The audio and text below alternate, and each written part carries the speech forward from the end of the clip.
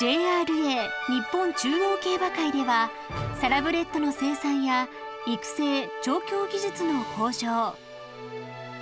また感染症をはじめとする病気や運動に関する基礎研究など競走馬を用いてさまざまな調査研究に取り組んでいます。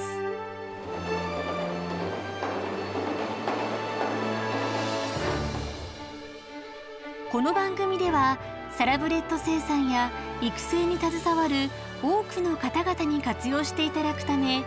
JRA がまとめた研究成果をお伝えいたします。馬学講座ホースアカデミー。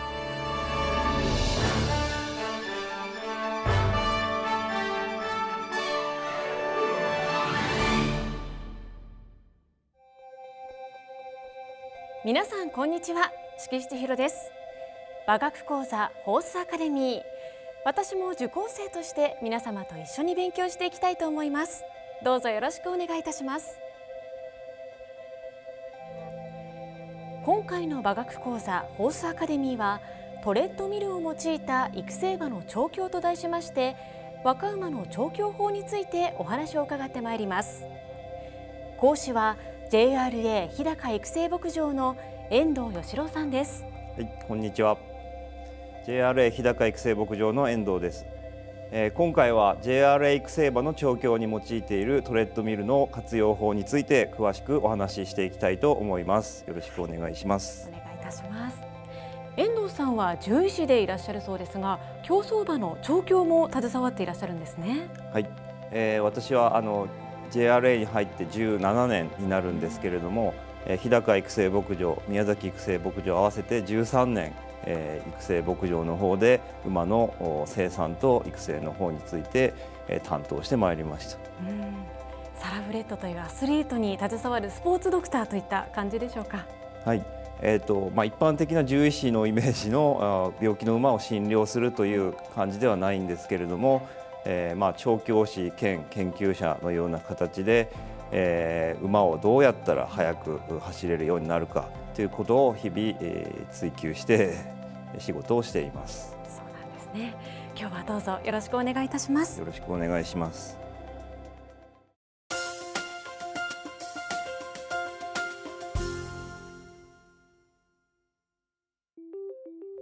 さんまずは今回のタイトルにあるトレッドミルというものから教えていただけますか？はい、えー、まずトレッドミルですが、えー、これは馬用のルームランナーみたいなもので、えー、地面、まあ、正確にはですねゴムベルトが動くことで馬に運動させる装置のことです。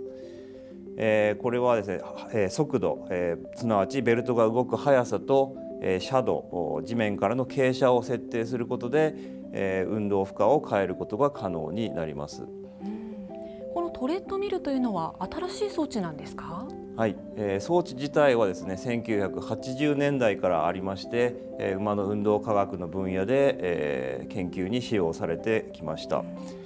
えー、ただ2010年代になりまして、えー、実際に、えー、育成牧場の方でも導入されるっていうのが進んでまいりまして実際の調教に使用されるようになりました。トレッドミルが調教で使われるようになってまだ10年くらいといったところなんですね。そうですね。まだ新しい装置になります。はい。JRA 育成馬への導入は早かったんでしょうか？日高育成牧場では2016年10月に1台目が納品され、えー、まずはですね心肝骨瘤などの運動器疾患の立ち上げすなわちリハビリに使用されました。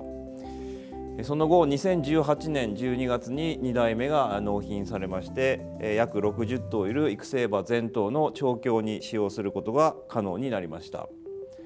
なお日高育成牧場ではクラシックトレッドミルオーストラリア社製のトレッドミルを導入しています。一方で近年 JRA 育成馬では血中乳酸濃度の測定を行っています。これは運動直後に採血をし血中乳酸濃度を測定することで運動強度の指標となるものです。販路もしくは 1600m ダート馬場での騎乗調教後の血中乳酸濃度を測定し運動メニューの作成に利用してきましたこれをトレッドミル調教のメニュー作成にも応用しています。うん最初は怪我から回復した馬のリハビリ運動に使っていた装置を本格的な調教の道具として活用しだしたということですね。はいそうです、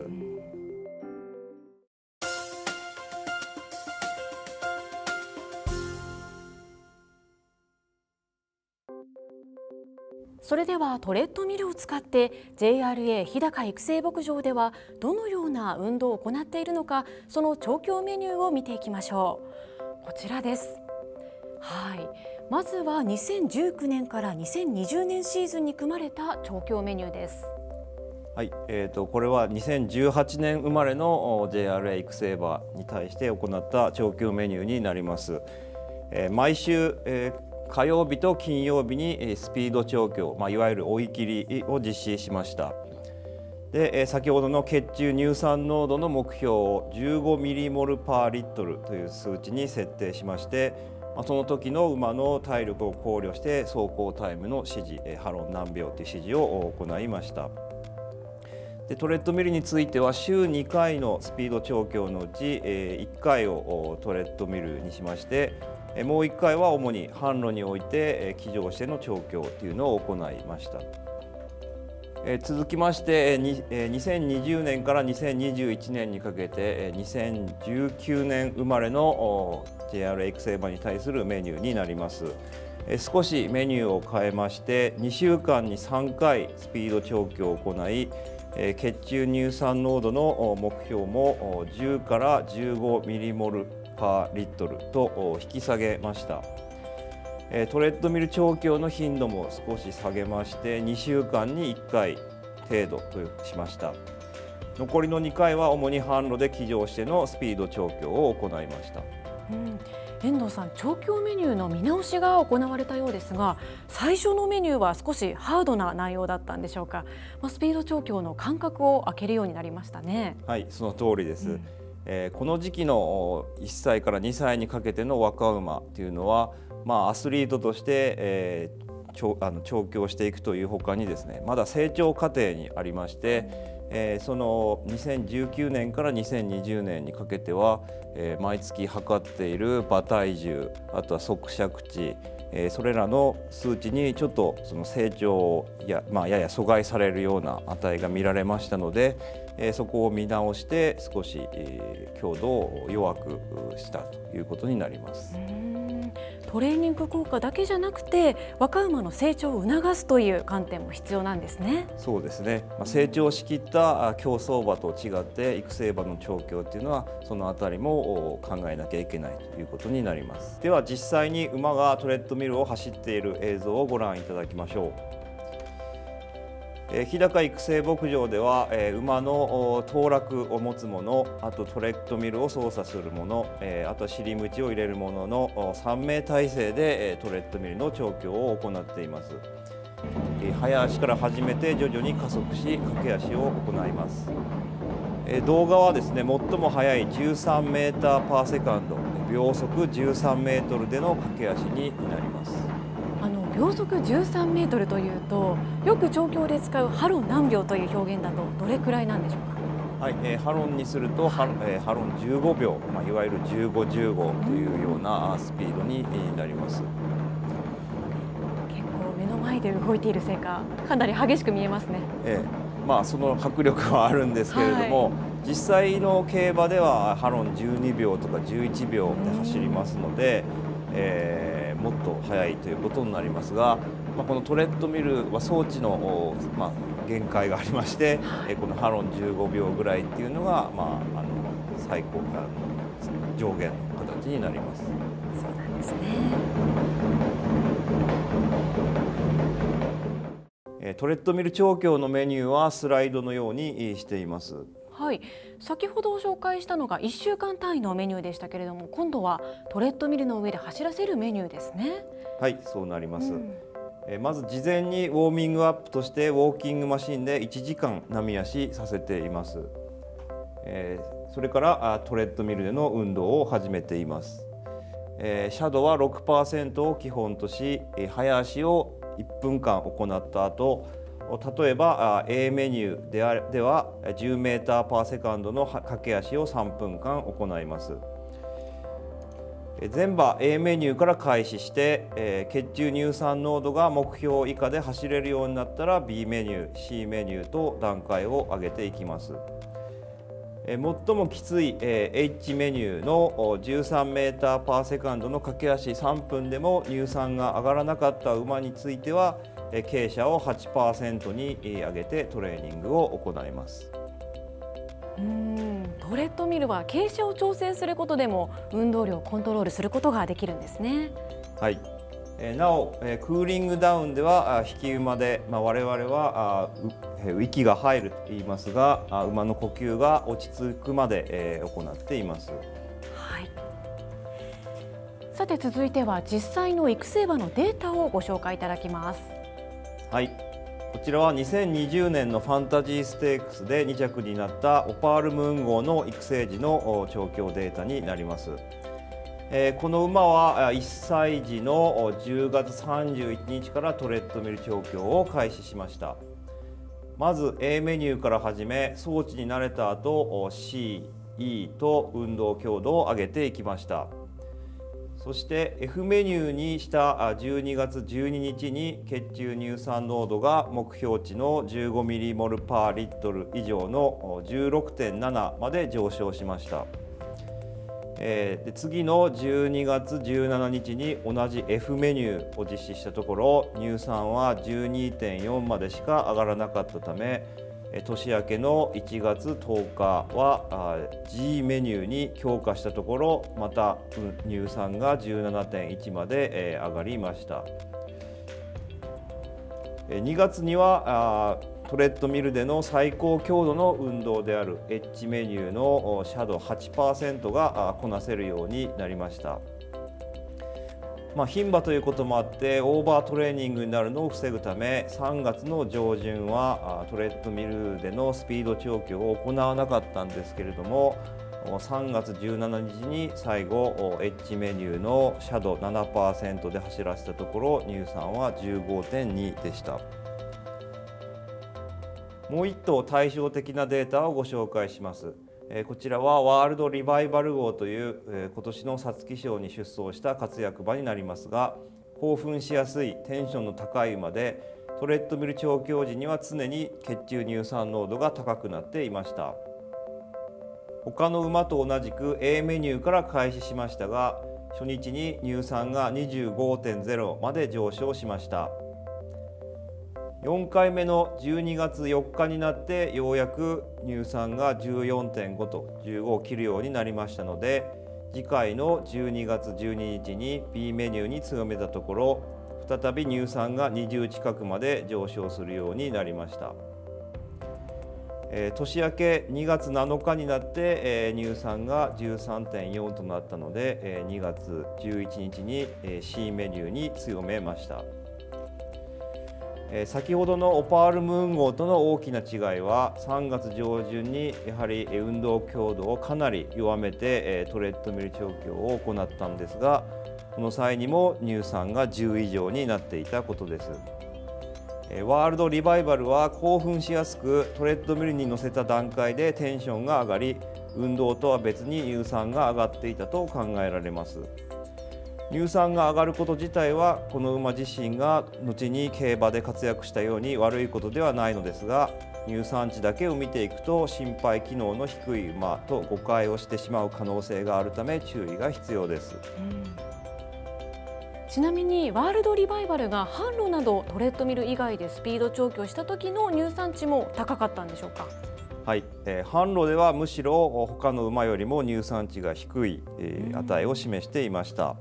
えー、走行タイム自体はですね、はい、えー、全部のオス馬の中で最も速い組に入っていまして、えー、非常に高いパフォーマンスを販路では見せていました。トレッドミルだけ苦手と言いますか興奮してしまう馬だったんですね。はい。そうですね。ただ、まあ、競走馬に関しては興奮するということは、はい、まあ、必ずしも悪いことではなくて、まあ、レースに行って、まあ、ある程度興奮してくれた方がまあ、いい結果が出ることが多いですので、えー、一概に欠点とは言えないと思います。はい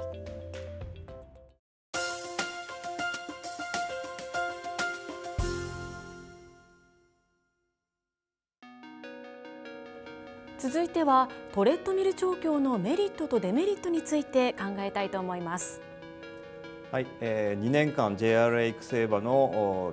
トレッドミル調教を行ってまいりまして、えー、メリットデメリット有効なところと、まあ、まり望ましくない部分が分かってまいりましたのでここで考えてみたいと思います。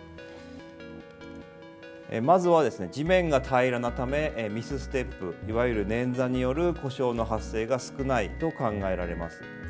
実際我々は2シーズン経験しましたがトレッドミル調教直後にすくみと呼ばれる、まあ、筋肉の、まあ、代謝の疾患ですねを発症した馬はいましたが、まあ、運動器疾患を発症した馬というのはいませんでした。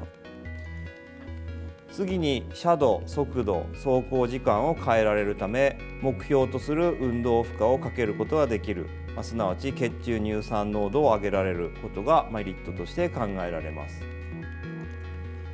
さらに騎乗者が不要なため高度な騎乗技術を必要とせず誰がやっても同じ運動負荷をかけられることがメリットとして挙げられると考えられます。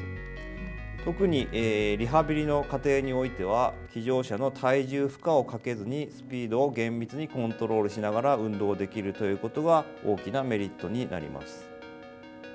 うん確かにトレッドミルの特徴は人が乗らないで走らせることができますから騎乗者の技術に左右されないという点は分かりやすいですね。はい、非常にそれは大きいと思います。逆にデメリットはどういうところでしょうか？はい、えー、で逆にデメリットとしてはまず、えー、装置が高価でありさらに数年おきにベルト交換が必要になるなどメンテナンス費用がかかることが挙げられます。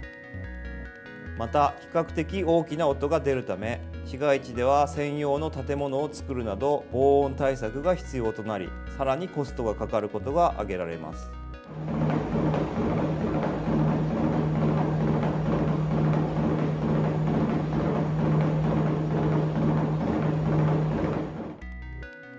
さらにトレッドミルでのスピード調教を繰り返していると興奮し心拍数や血中乳酸濃度が上がってしまう馬が出てくることが挙げられます乳酸が上がること自体は悪いことではないのですが乳酸だけを見ていると心肺機能が低い馬と誤った解釈をしてしまう可能性があり注意が必要です。先ほどのワールドリバイバルのようなパターンですね。そうなります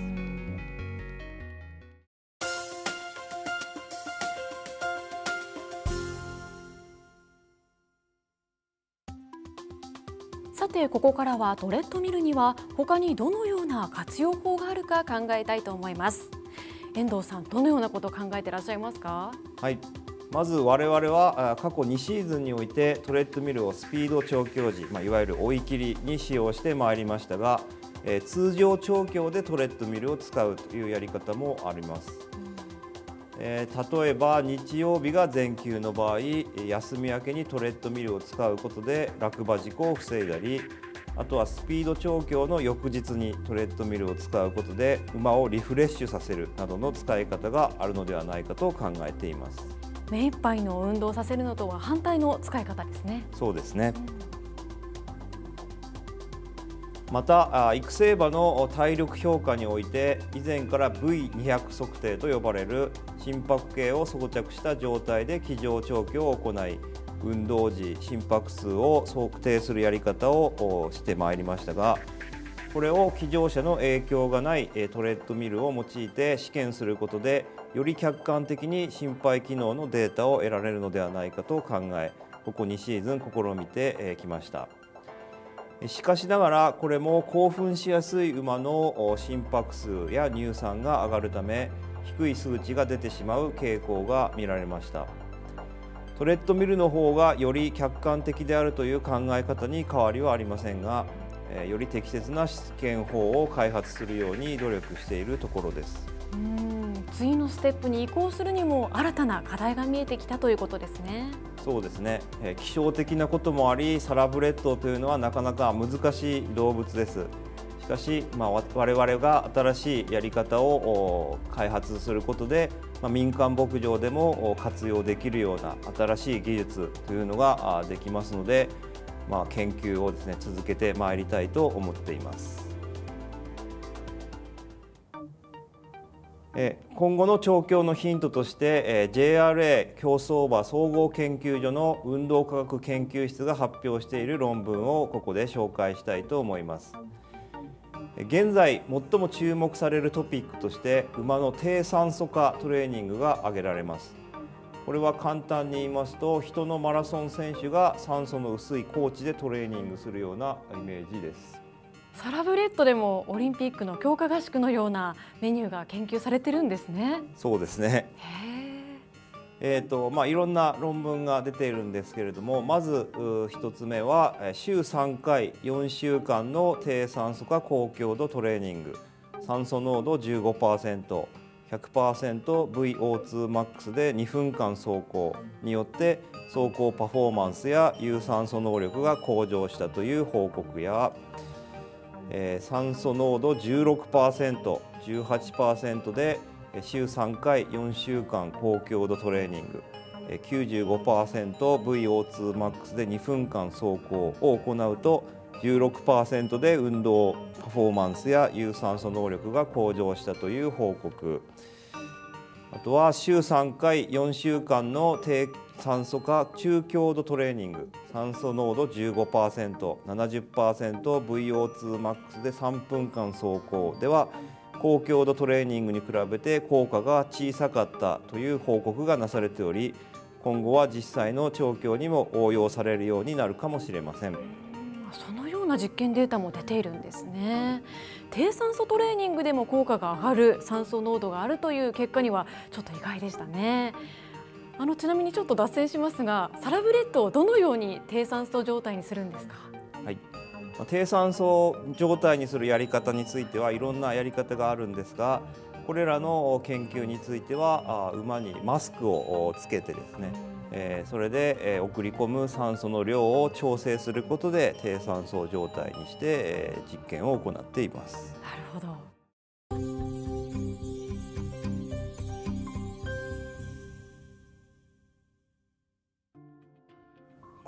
の馬学講座ホースアカデミーではトレッドミルを用いた育成馬の調教についてお話を伺ってまいりました。遠藤さんこのトレッドミルを使った調教の取り組みを今後どのように見ていらっしゃいますか？はい、えー、我々は2シーズン、えー、育成馬をトレッドミルを使って調教してきましたがあ今後の課題として、まあえー、いくつかあ、えー、考えられることが出てきました。まず1つ目はですねトレッドミルをスピード調教、まあ、追い切りに使用した方がいいのかそれとも通常調教で使用した方がいいのかということ2つ目としてトレッドミルを用いた運動パフォーマンスや有酸素能力の客観的評価が可能かということ3つ目として低酸素化トレーニングと組み合わせることでより高い効果を得ることができないかということです。4つ目は騎乗しての調教とのバランスをどうしていくかということです。馬が走る通常の調教とベルトが動くトレッドミルでは果たして同じ筋肉が使われているのかという疑問がそもそもあるため研究所と共同で研究していきたいと思います。また今回は活躍馬2頭のメニューを紹介しましたがトレッドミルを用いることで、えー、負の影響というのもおそらくあると思いますのでそのあたりについても調査していきたいと思います。これから始まる育成馬調教ではまた新しいアプローチでトレッドミルが活用されていくんでしょうね。そうですね、競走馬の調教方法はトレッドミルのような装置を効果的に活用したりまだまだ進化していきそうですね。そうですね最後に、えー、この分野での将来像になりますがトレッドミルに限らず今後も各メーカーから馬の運動に関する新しい装置が開発されてくると思います。